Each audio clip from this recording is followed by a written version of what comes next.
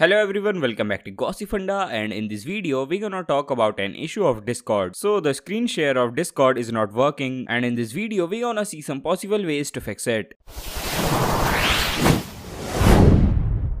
So if you are using Windows, then first of all run the Discord application as administrator and for that simply right click on Discord application and you will get an option of run as administrator. If you are using Mac, then first of all go to security and privacy, choose privacy and select the option of screen recording and here in the list mark the checkbox of Discord and if you are using a web browser then it will ask for permission each time. Secondly turn off the latest technology option in Discord because it causes issues with Discord like Discord streams not loading. To turn off this option open settings in your Discord, go to the option of voice and video and simply disable that feature and then restart your Discord and your issue will be resolved. Also if you want to screen share an application, then you have to add the application to Discord profile and for that first of all open settings, then go to game activity and here in the option of add it, you simply have to add the game application which you want to screen share. Also make sure to close the unnecessary background applications and also ensure that you have a stable internet connection and also make sure to update your Discord timely and also make sure to update your graphic drivers too. So these were some ways by which you can easily fix your issue. I hope this video was useful to you. Make sure to like, share and subscribe.